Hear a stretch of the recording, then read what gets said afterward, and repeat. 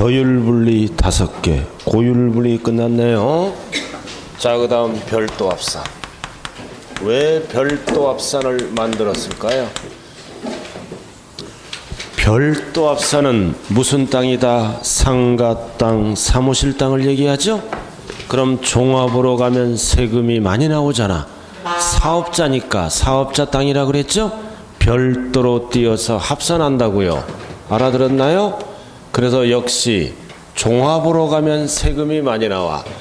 그럼 건축물은 영업용 건축물은 요만큼인데 부속 토지가 너무 넓으면 안 되죠? 그래서 사업용 땅도 법에서 정한 뭐가 있다?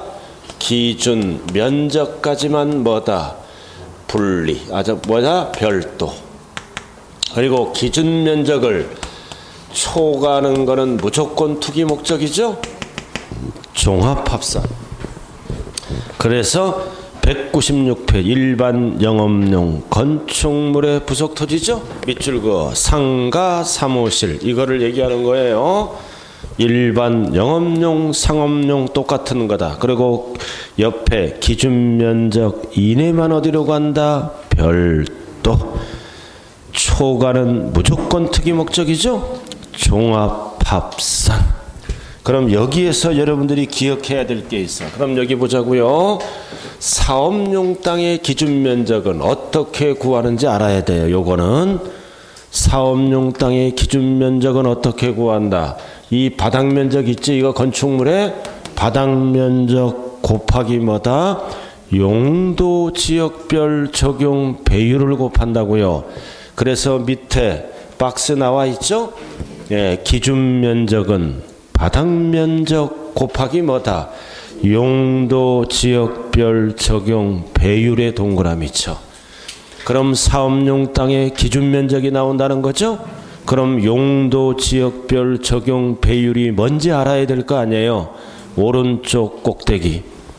이게 용도 지역별 배율입니다. 그래서 건축물이 도시 지역으로 묶인 지역에 있고 묶이지 않는 지역으로 구분하죠? 그래서 도시 지역으로 묶인 지역에 있으면 전용 주거 지역은 몇 배야? 다섯 배를 곱해야 돼. 뭐에 다섯 배야? 바닥 면적. 그 다음 준주거 지역, 상업 지역이 있다면 세 배를 곱해야 돼요. 그리고 일반 주거 지역, 공업 지역은 네 배, 녹지 지역은 일곱 배, 미계획 지역은 네 배, 그리고 묶이지 않는 도시 지역 외에는 일곱 배네. 그럼 가장 널널한 지역이 어떤 지역이야? 녹지 지역, 도시 지역, 밖, 외 지역은 일곱 배죠? 가장 밀집 지역은 어, 떤 지역이에요? 상업 지역, 준주거 지역은 배율이 작겠죠? 세 배. 그럼 나머지는 네배 아니면 다섯 배. 딱 두 번만 읽어보면 정리가 끝났죠? 상업 지역, 준주거 지역은 몇 배를 곱해야 돼요? 세 배. 녹지 지역, 도시 지역, 밖은 몇 배? 일곱 배. 나머지는 네 배 아니면 다섯 배. 그럼 이게 뭔 뜻이냐 한번 보자고요. 전체 부속 토지가 2,000제곱미터입니다. 2,000제곱미터라고요. 그리고 여기에 바닥 면적이 나오겠죠, 그죠? 바닥 면적이 바닥 면적이야 이거 바닥 면적이 100제곱미터라고 가정하자고요, 이렇게. 그리고 이 영업용 건축물은 상업 지역에 소재했다. 상업 지역에 소재하는 경우 별도로 가는 면적과 종합으로 가는 면적을 구하시오. 이렇게 출제될 수 있겠죠? 자, 그러면 기준 면적을 구해야 될 거 아니에요. 그럼 기준 면적은 바닥 면적이 100이지? 그럼 상업 지역은 몇 배? 3배. 그럼 몇 제곱미터? 그래서 300제곱미터는 뭐다? 별도 합산. 기준 면적이란 뜻입니다. 그러니까 3배를 알아야지 어, 바닥 면적은 나오는 거니까 100제곱미터니까 알아들었어요? 그럼 2000이잖아. 그럼 초과하는 부속 토지는 몇 제곱미터야? 빼면 되죠? 1700제곱미터는 종합합산으로 간다고요. 이렇게 하는 거예요. 그래서 300은 뭐다? 별도로 구하고 초가는 투기 목적이니까 무조건 뭘로 구한다? 종합합산으로 구하고 중요한 거는 뭐를 알아야 되는 거야? 배율. 세배야 세배. 음, 이해는 되셨죠? 어, 그 정도만 알아요. 와 이렇게 구하는구나 이렇게. 음, 세배야 세배. 그럼 전용 주거 지역은 몇 배야? 전용 주거 지역은 다섯 배. 음. 전하면 누가 기억나? 용. 전용하면 전두환이가 기억나지 않아요? 50대 용이었잖아. 50대 배 터졌지. 5배잖아. 29만 원 밖에 없는 놈이 참 우리나라 그 어떤 그 저 고위공직자가 얘기하더라고. 이 고위직들이 부정부패가 너무 많대 우리나라가. 음. 참안 됐어요 이유야떠튼 그죠? 요즘 뉴스 틀면 그거야. 지, 골치 아파. 이유야떠튼 보기가 싫어 뉴스가. 고위층들이 좀 모범이 돼야 서민들도 부정부패를 안 하려고 노력할 거 아니에요 그죠? 서민들은 백만 원만 잘못 먹어봐 바로 잡아가요 알아들었죠? 조심해야 돼요 우리는 서민들은 힘없기 때문에 자 그다음 제일 밑에 보자고요 제일 밑에 2번은 뭐다? 일반 영업용 건축물의 부속 토지입니다. 두 번째. 그럼 일반 영업용 건축물의 부속 토지로 동그라미 쳐 보는 토지야. 보는 토지다 이거지. 아까 1번은 뭐야? 땅 위에 건축물이 있어요. 있다고. 근데 2번은 뭐다? 이땅 위에 건축물이 있다 없다 없는 거야. 없으면 출신이 뭐야? 나대지야. 건축물이 없는 땅을 나대지라 그러지? 나대지 아니라고. 음, 나대지야. 그럼 나대지는 투기 목적이지. 종합으로 가야 될 거 아니에요. 근데 이 나대지는 나대지인데 놀고 있는 나대지가 아니라 사업자가 사업에 이용되는 토지이므로 별도로 가겠다라는 뜻입니다. 그래서 밑에 보시면 다음에 해당하는 토지는 관계 법령에서 밑줄 그 면허 등록 등을 받은 사업자가 사업자가 당의 사업에 사용하는 토지야 건축물은 없지만 그래서 사업용 토지로 보겠다라는 뜻입니다. 엄청 많아 알아들었나요? 엄청 많다고. 음. 그래서 저렇게 바쁘신 분은 어디에 앉아야 돼? 저기 문 옆에. 그죠? 바쁘지 않은 사람은 문 옆에 앉으면 신경 써서 공부가 안 돼. 왔다 갔다 그러니까 사람이 급하면 왔다 갔다 해야잖아. 저렇게. 나쁜 건 아니야. 근데 이렇게 싹 가면 강의 흐름이 끊기잖아. 또 공부하다가 어디 갈 수도 있지? 그럼 뒤에 앉아. 그리고 내가 이렇게 할 때 싹 도망가. 여기 사면 보이잖아. 신경 써. 나 원래 예민해요. 자, 엄청 많아. 포인트만 갑니다. 1번. 1번 주로 여기 보세요. 보는 토지는요. 주로요. 자동차 관련 기계 관련 토지야. 사업자가 자동차 관련 사업하지 기계 관련 사업하지 주로 그래서 1번 여객 자동차 운수 사업 또는 화물 자동차 운수 쭉 나와 읽기도 힘들어 쭉 읽다가 세 번째 줄 밑줄 그어 차고용 토지야. 차고용 토지 사업자가 사업에 이용하는 토지라고요. 차고용 토지가 있어야지 차들이 근무가 끝나면 머무르는 장소 이거는 사업 목적이지 어, 땅 위에 건축물은 없지만 사업으로 보겠다. 별도 앞선. 그럼 여러분들이 아실 거는 차고용 토지와 아까 배웠잖아요. 터미널용 토지는 헷갈리지 말자. 터미널용 토지는 공급 목적이에요. 분리로 가고 차고용 토지는 별도로 갑니다. 그 다음 2번도 마찬가지야. 건설 기계 관련이잖아. 쭉 읽다가 세 번째 줄 밑줄 그 주기장 주기장 또는 옥외 작업장용 토지 이것도 사업용 토지예요. 주기장은 건설기계가 머무르는 장소야. 중장비들이 근무가 끝나서 자동차가 머무르면 차고용 토지고 중장비 이런 게 주기장이죠. 밑줄 긋고 3번 여러분들이 제일 잘하는 게 3번이잖아. 도로교통법에 따라 등록된 밑줄 그어 자동차 운전학원용 토지 자동차 운전학원용 토지 칠판 봐요. 운전학원 운전학원 가봤어요? 그럼 여기에 땅 위에 자동차들이 왔다 갔다 그러잖아. 그럼 거기 그, 그곳은 건축물이 없잖아. 그럼 이 자동차 운전학원용 토지는 사업에 이용되는 땅이죠. 그러니까 뭘로 간다? 별도 앞산. 운전학원용 토지 밑줄 그었어요? 어. 그 다음 너무나 많아서 할 필요가 없죠. 10번. 10번. 자, 포인트만 해요. 오른쪽 10번. 관광진흥법에 따른 관광 사업자가 밑줄 그어요. 자, 두 번째 줄 밑줄 그어. 박물관, 미술관, 동물원, 식물원에 무슨 전시장 토지? 야외 전시장. 그럼 박물관, 미술관 이런 것도 입장료를 받아요.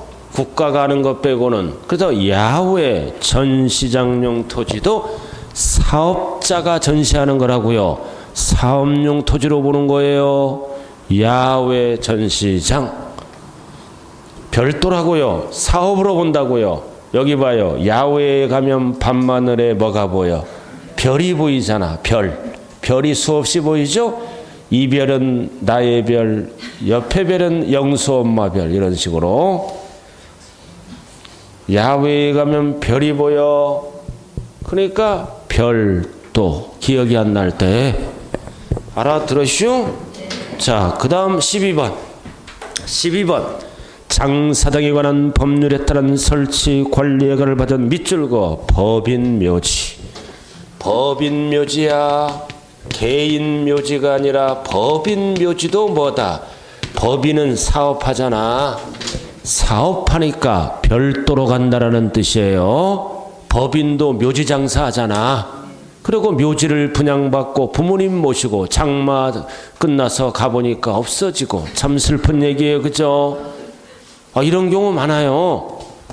법인 묘지 찾았어요? 자, 그 다음 13번, 13번. 다음 규정된 임야가 나왔네. 원래 임야는 분리로 가잖아. 그죠? 근데 임야가 나왔어, 이거 임야. 다만, 체육시설의 설치용에 관한 법률에 따른 밑줄 그어요. 회원제 골프장용 토지의 임야는 제외. 회원제 골프장은 별도에서 제외하면 이거는 어디로 간다는 거야? 우리 배웠잖아. 회원제 골프장은 사치 목적이지 고율 분리로 간다고요. 회원제 골프장은 제외해요. 그래서 가번. 자, 가번 한번 읽어봐요. 시작.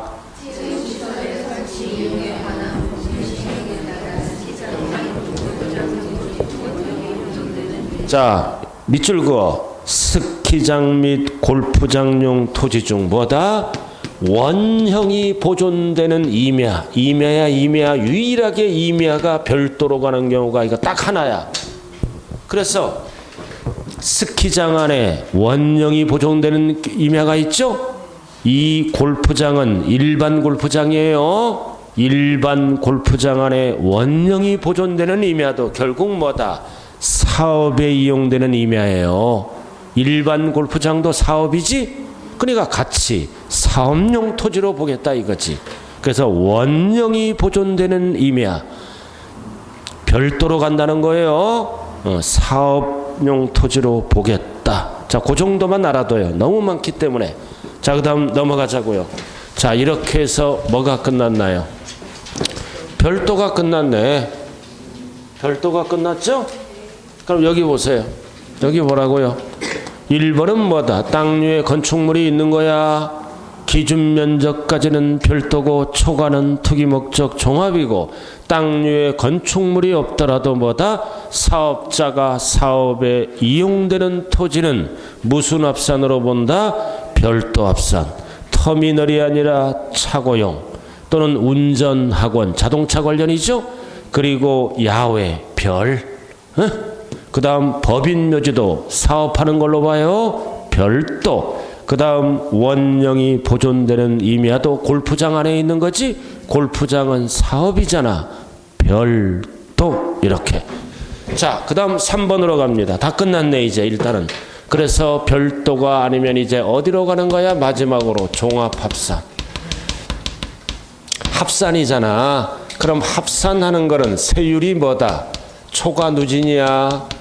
항상 초과 누진 세율은 세율은 암기를 못하라더라도 단계는 알아야 돼. 몇 단계로 돼 있을까요? 3단계. 5단계 하면 안 돼요. 별도든 종합이든 합산은 누진세율을 곱하죠? 몇 단계다? 3단계, 3단계로 돼 있다고요. 일단 세율은 암기하지 마세요. 그래서 책 옆에 3단계라고 적으라고요. 3단계라고 적어요. 음. 자, 그럼 3번 나왔잖아. 자, 3번. 3번 봤어요? 어, 밑에 3번 종합합산. 과세기를 연재해 납세무자가 소유하는 토지 중 별도 및 분리 대상이 되는 토지와 비과세 면제 또는 경감 또는 토지를 제외한 나머지를 전부 뭐라 그런다? 종합. 자, 칠판 봐요. 분리가 아닌 것은 원칙 어디로 간다? 종합. 별도가 아닌 것은 원칙 어디로 간다? 종합. 그리고 세금이 없는 거를 뭐라 그래요? 비과세. 일부 깎아주는 거를 뭐라 그래? 경감. 100% 깎아주는 거를 뭐라 그래요? 면제. 합쳐서 우리는 뭐라 그런다? 감면. 그럼 이거는 세금이 없잖아. 세금이 없죠? 어, 이런 거를 제외한 나머지는 종합으로 간다는 거야. 분리가 아닌 건 종합으로 가고 별도가 아닌 건 종합으로 가고 세금이 없는 것 빼고. 그래서 경감받는 토지는 종합으로 간다 별도로 간다. 틀린 지문이에요. 아, 세금이 없으니까 제외하고. 아이고 이것만이라도 알아보 아, 세금이 없는 게 비과세잖아. 그럼 이건 아예 과세 대상에서 제외시켜 버리는 거야. 그래서 비과세 받는 땅은 별도로 간다, 종합으로 간다. 틀린 지문이에요. 음. 자, 그래서 다 설명했잖아. 1번부터 8번까지 다 설명했어요. 1번 실제 영농에 사용하지 않는 않느니까 투기 목적이잖아. 그 다음 법인단체 소유농지도 투기 목적이지? 종합. 단 법인단체는 다섯 가지가 있다 그랬잖아, 아까. 다섯 가지 한번 불러봐요. 시작. 농, 한, 사, 매, 종. 차관 다섯 가지 있어. 그거 빼고 투기 목적이요. 그 다음 3번 목장용지, 공장용지, 일반 건축물은 영업용이에요. 기준 면적이 있잖아. 이내다, 초과다, 초과. 초가자가 들어가면 무조건 무슨 합산이야? 종합합산이에요. 자, 그 다음 4번은 분리. 분리 이외는 종합으로 가지? 그 다음 5번 지상 정착물이 없는 나대지. 이거는 그냥 나대지는 투기 목적이요.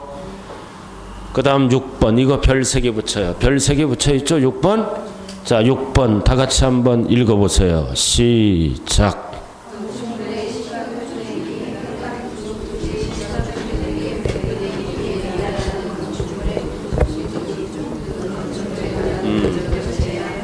자 일단 밑줄 그 시가 표준액 2% 미달. 미만이야 저 이하가 아니야 미달. 2% 미달. 그리고 두 번째 줄 밑줄 그 바닥 면적 포함이 아니면 바닥 면적 제외. 제외한 거는 어디로 간다? 종합 합산 투기 목적이다 이거지. 자 칠판 보자고요. 칠판 봐요. 그럼 건축물이 없는 땅을 뭐라 그래요? 나대지. 여기 봐요. 건축물이 없는 땅을 나대지라 그러지? 그냥 놔두면 투기 목적이야 종합합산이야. 그래서 이 땅 소유주가 건물을 어떻게 합니까? 신축하잖아. 신축하잖아. 그럼 땅 위에 건물이 생겼지? 그럼 밑에 땅은 전부 사업용 땅으로 보는 게 아니에요. 알아들었나요? 땅값 대비 몇 프로 이상짜리를 재야 돼? 2% 이상짜리를 지으면 이렇게 되는 일로 가는 거야. 이내는 별도, 초과는 종합 2% 이상짜리를 지어야 된다고요. 땅 가격이 100억이야. 시가 표준액 얼마짜리 이상 건물을 올려야 돼? 2억 이상. 그러나 미달짜리를 하지 이상이 아니라 미달. 그럼 미달하면 달라지는 거야 법 관계가. 미달 그러면 그래도 바닥 면적은 사업용 땅으로 봐서 별도로 가. 알아들었나요? 그럼 나머지는 전부 뭐다? 건축물하고 관계없는 제외 제외 투기 목적으로 봐. 그래서 제외 제외는 어디로 간다? 종합합산. 그래서 기준이 뭐다? 2% 미달 5% 하면 안 돼요. 그리고 제외는 어디로 가? 종합. 그러나 바닥 면적만을 물어볼 때는 어디로 가?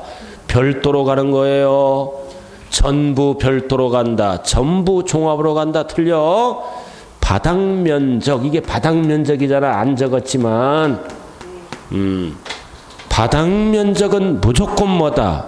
별도. 그러나 제외하는 것만 뭐다? 투기 목적 종합이라고요. 자, 그다음 7번. 무허가, 무허가 또 투기 목적으로 봐요. 위법적 건축물의 부속 토지도 종합, 잡종지. 잡종지도 세법은 투기 목적으로 본다고요. 잡종지가 대표적으로 뭐가 있어요? 지적법 꽉 잡았잖아. 갈대밭. 이런 거 잡종지 아니에요? 아닌가? 갈대. 갈대밭의 추억을 아시나요? 자, 알았어요. 좌우간 아, 열 가지가 아닌 건 다 종합이요. 어, 이렇게 해서 가장 어려운 부분이 끝났네요. 알아들으십니까? 자, 그래서 오른쪽 문제 한번 풀어보자고요. 2번 한번 풀어봐요. 2번 꼭대기 문제.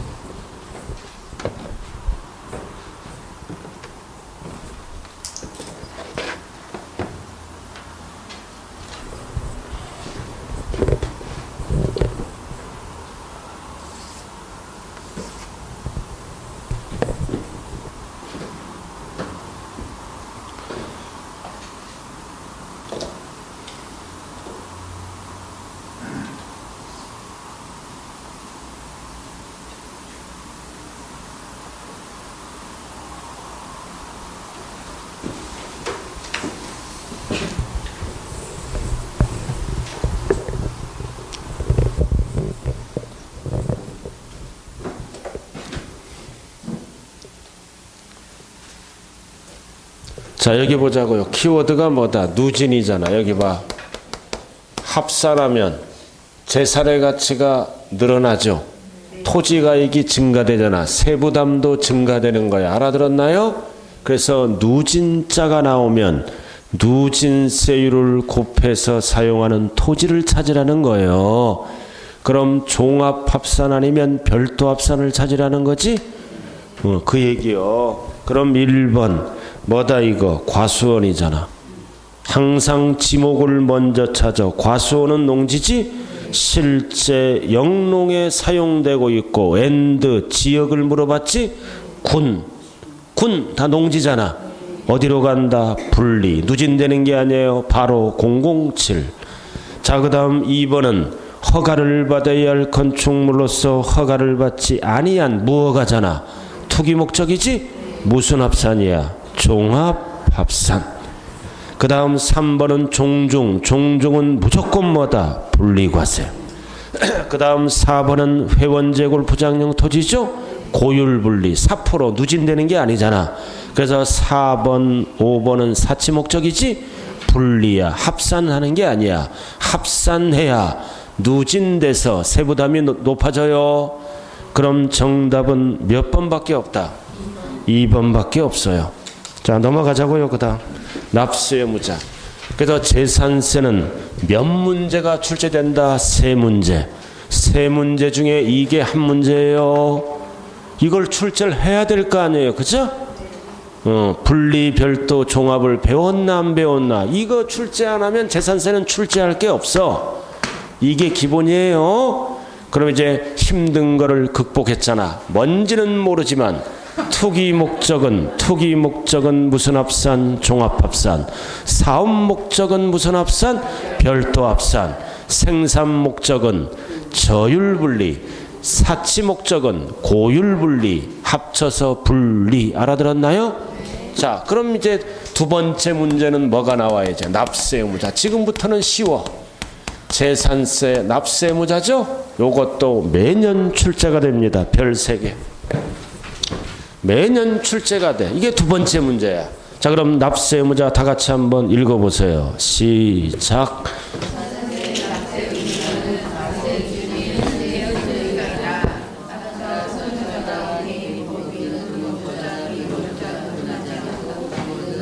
음.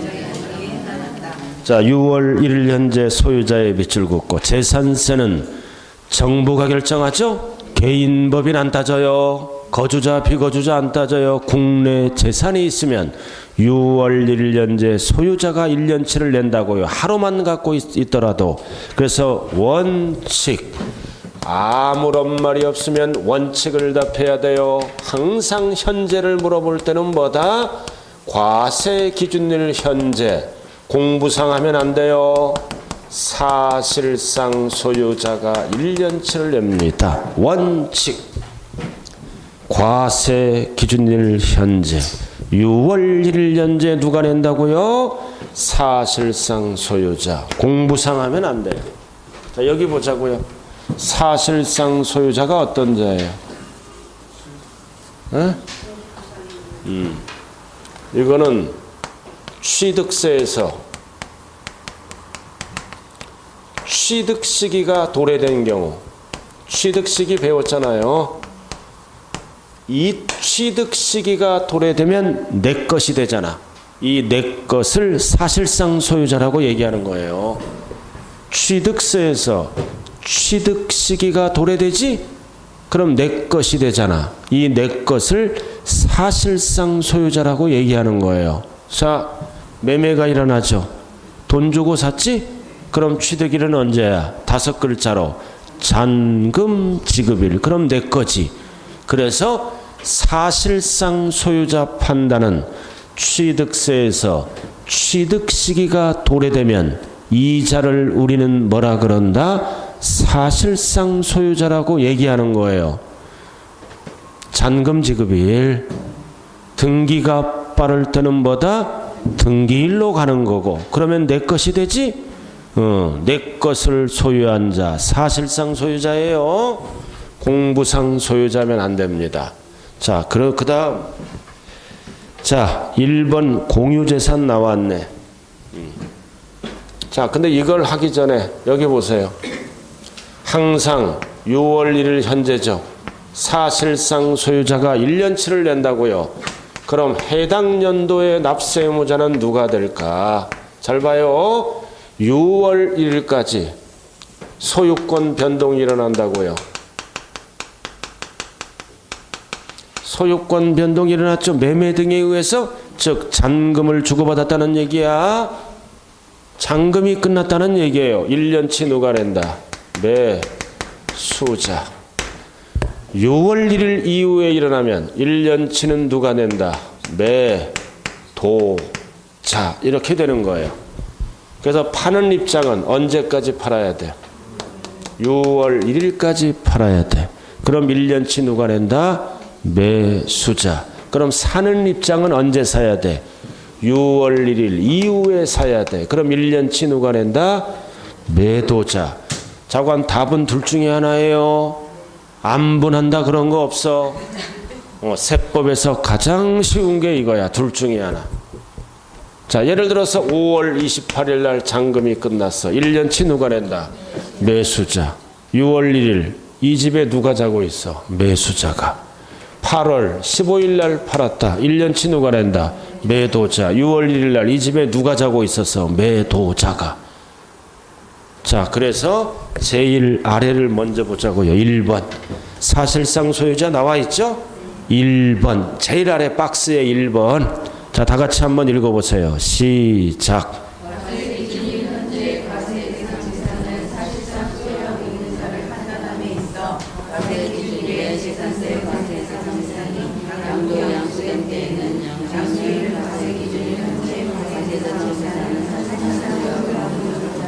자 밑줄 그 과세 기준일 현재 6월 1일 날 팔았다는 거야. 과세 기준일 현재 양도 양수 됐죠? 그럼 1년치는 누가 낸다? 양수인. 양도인 하면 틀려요. 그래서 과세 기준일까지 팔면은 1년치 누가 낸다는 거야? 양수인. 알아들었죠? 이상하다. 책에는 양수인이고 빨간 글씨로 매수자네. 똑같은 거요. 똑같은 거라고. 잠깐 글씨만 다르면 헷갈려 버려. 자, 그 다음 위로 올라갑니다. 공유재산. 공유재산이죠? 부부간의 공유재산이야. 아파트를. 그럼 그 지분에 해당하는 부분 누가 납세무자가 된다. 지분 권자의 밑줄 거. 큰 자하면 안 돼요. 지분만큼 지분권자에게 각각 고지서가 날아간다고요. 과로 조심하자. 지분 표시가 없을 때는 어떻게 한 걸로 봐? 균등한 걸로 본다. 지분 표시가 없으면 그냥 2분의 1, 2분의 1 된다는 거예요. 균등한 것. 자, 그 다음 2번. 자, 2번은 별 3개 붙여. 2번은 별 3개. 주택의 건물과 부속 토지의 소유자가 다르네. 다르지? 땡땡 옆에 한번 읽어봐요. 시작.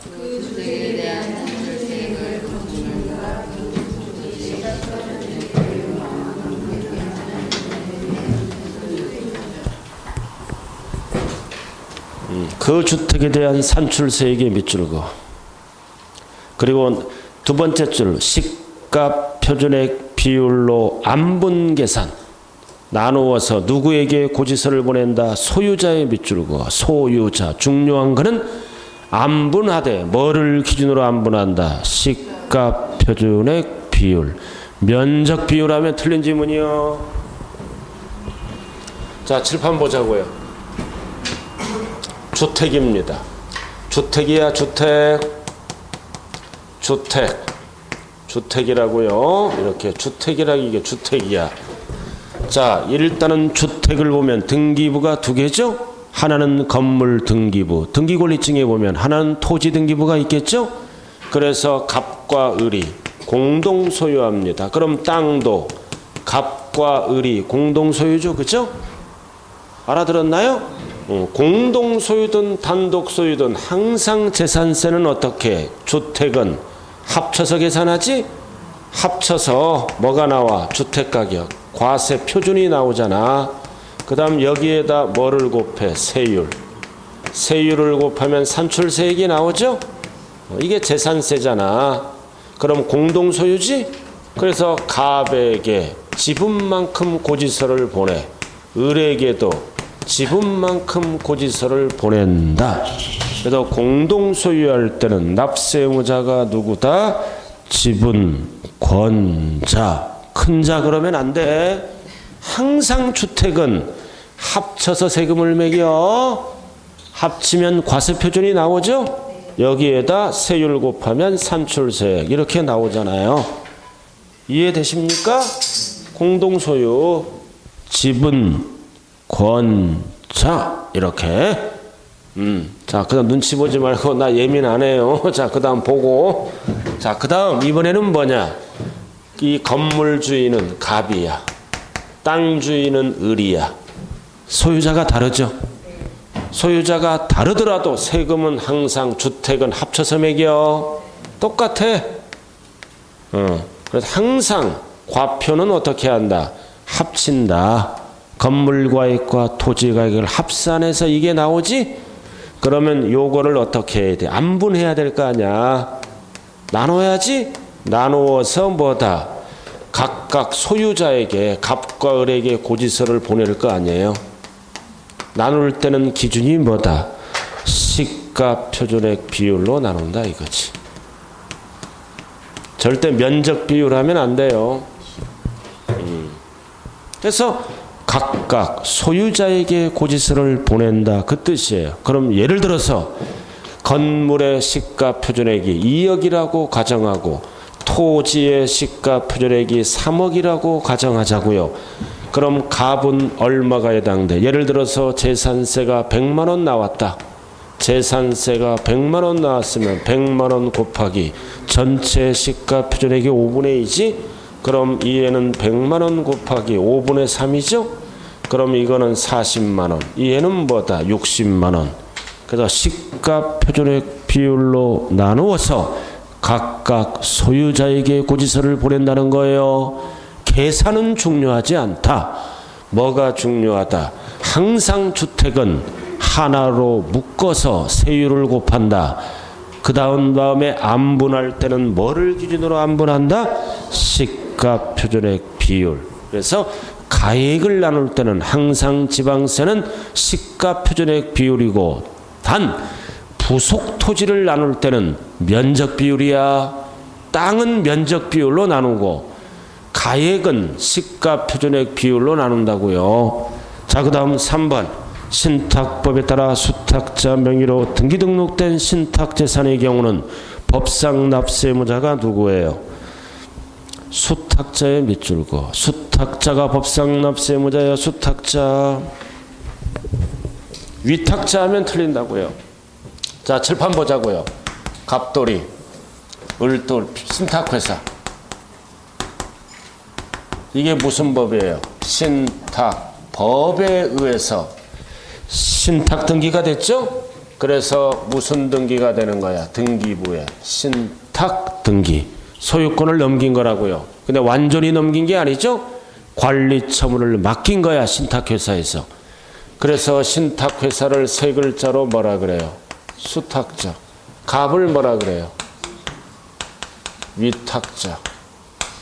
또 신탁자라고 살짝 잠깐 타법은 까먹지도 않아. 세법에서는 위탁자라 그래요.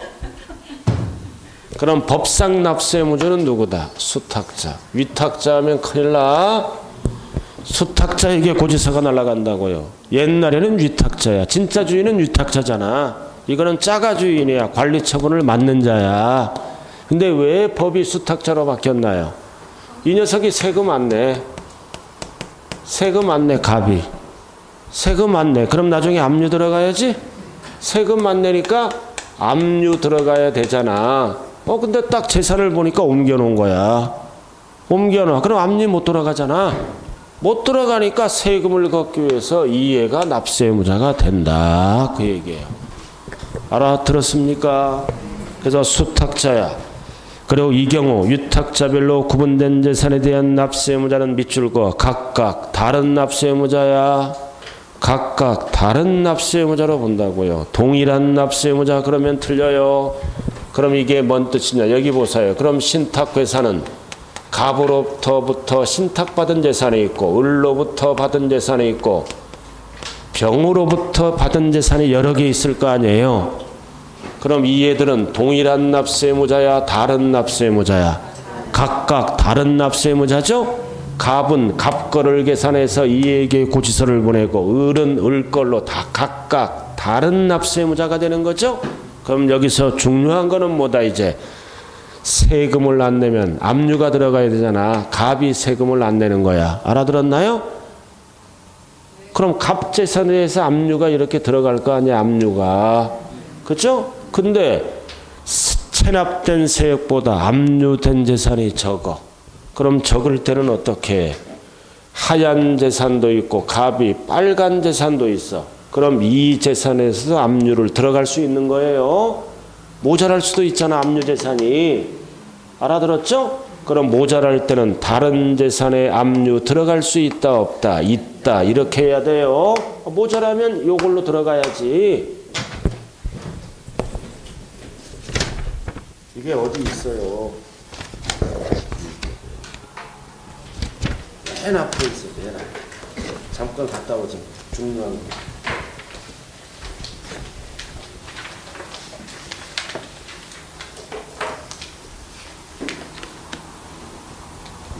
일단은 저, 저, 저 거기까지만 하고 됐어요? 어, 어디 나중에 자 여기 봐요. 다시 그대로 와요. 202쪽 이거 자 압류 들어가려 보니까 재산을 옮겨놨지. 그럼 딱 요 재산에 일단은 압류 들어가는 거야 먼저. 그럼 모자라면 위탁자의 다른 재산이잖아. 원래 이 재산에 대해 세금 안 냈지? 그럼 다른 재산에 대해서도 압류 들어갈 수 있다 없다 있다라고 해야 돼요. 당연하는 거 아니에요? 어, 알아두시고. 자 그다음 자 그다음은 2번은 뭐다? 예외네. 예외는 공부상 소유자네. 공부상 소유자. 다 같이 한번 읽어봐요. 시작. 공부상 소유자가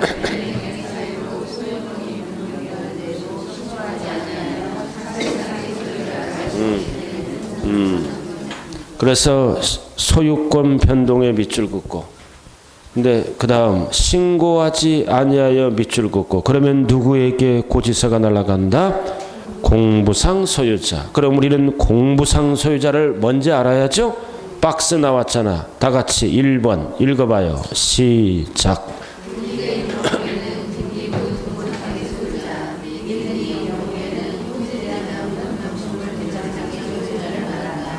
자, 칠판 봐요.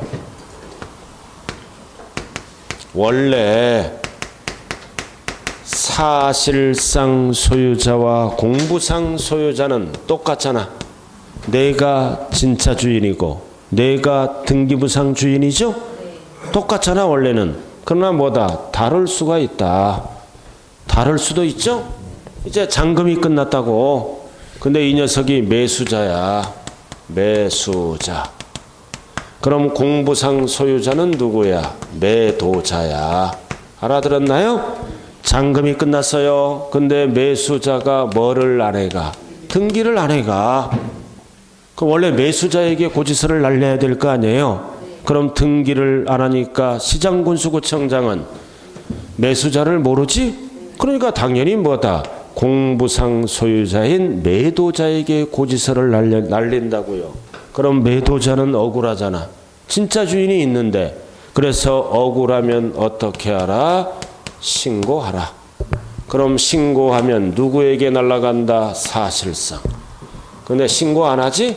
신고를 안 하면 누구에게 날라간다? 공부상. 이렇게 되는 거야. 그래서 항상 재산세 납세 의무자는 뭐다? 신고 여부에 따라 납세 범위가 달라진다고요. 안 하면 이해 모르잖아. 공부상 소유자에게 날리고 하면 이제 파악되지? 사실상 소유자. 됐습니까? 그 얘기라고요. 그래서 박스 봐요. 그림. 자, 6월 1일까지 사고 팔면 1년치 누가 내는 거야? 매수자. 6월 1일 이후에 팔면은 누가 내는 거야? 매도자. 당일날 팔아도 누가 내는 거야? 매수자. 그 다음 예외가 나와 있지? 밑에 박스 봐. 신고 안 하면 누구에게 날라가? 공부상 소유자. 신고하면 누구에게 날라가? 사실상 소유자. 그 얘기예요.